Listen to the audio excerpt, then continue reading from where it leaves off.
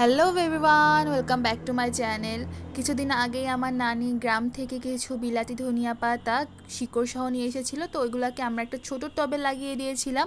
তো টবটা এখন ভরিয়ে গিয়েছে, তাই আম্মু বলছিল যে কোনো একটা বড় পাত্রে লাগিয়ে দিলে ভালো হতো। তো আম কেনার সময় আমরা এই কসকেটটাও পেয়েছিলাম, তো কসকেটটা রেখে দিয়েছিলাম কোনো গাছ লাগানোর জন্যই।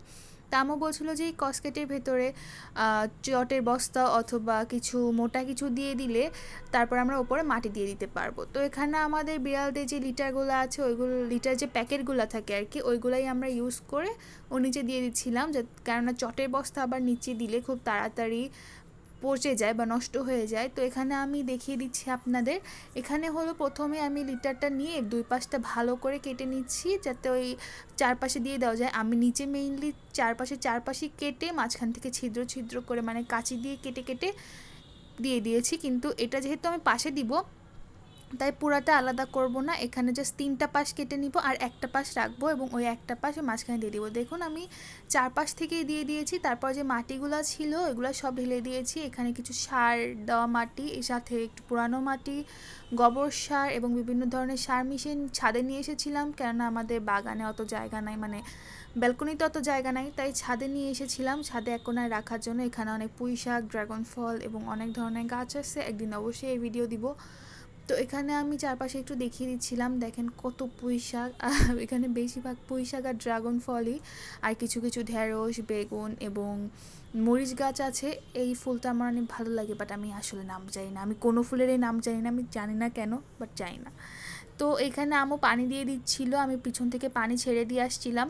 তো এখানে পানি দিয়ে দেওয়ার পর আমি দুই তিন দিন ওয়েট করব। আবার দেখছিলাম যে দুই তিন দিন ওয়েট করতে করতে আমাদের খুলনায় তিন থেকে চার দিন পর্যন্ত অনেক বৃষ্টি হয়েছিল। তো এটা হলো বৃষ্টির আগের সময়। আর আমি হলো এখানে গলুকে বেবির মতো টাওয়ালে মানে আমি ওনার ভিতর পেঁচাই নিছিলাম। কেন ও স্যাসিকে অনেক মারতেছিল। উড়ে উড়ে যে স্যাসিকে মারছিল, এর জন্য আমি ওকে ধরে এরকম পেঁচাই নিছিলাম। আর ও তো খালি উ করতেছিল। মানে আমার অ্যালার্ট করে দিচ্ছিল যাতে আমি ওকে না ছুই বা ওর সাথে এরকম না করি। যাই হোক তিন চার দিন পরে যখন রোদ বেরিয়েছিল এবং হালকা হালকা মাটিটাও শুকায় গেছিল, তখন আমি ছাদে চলে যাই এই ধনিয়া পাতার টপটা নিয়ে এবং আজকে দেখেন একটু রোদ বের হয়েছে একটু।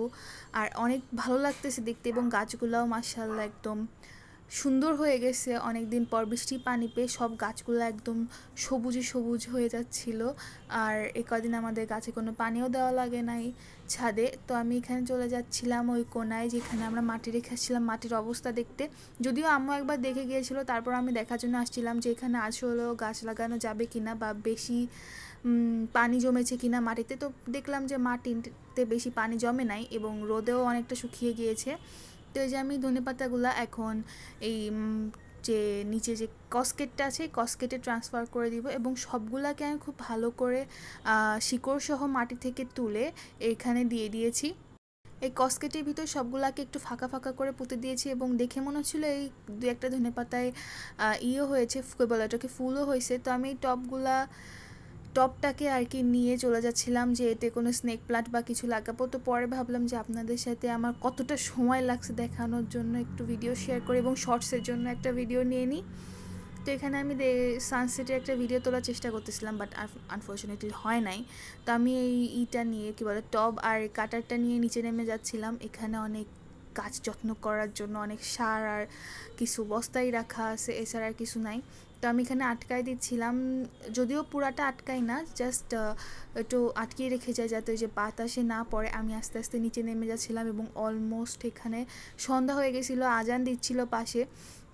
আমি তাড়াতাড়ি নেমে যাচ্ছিলাম, তো আমার গলুর কথা খুব মনে পড়তেছিল। গলুকে আমি এক কি দুইবার ছাদে নিয়ে আসছিলাম বাট ও ছাদের থেকে এত ভয় পায় এবং লাফ দেওয়ার চেষ্টা করে, যেখানে বাবুন আগে এরকম করতো মানে স্যাসি আগে এরকম করতো বাট রিসেন্টলি দু একদিন ভেটের কাছে না যাওয়ার পর থেকে ও পুরো বিগড়ে গেছে।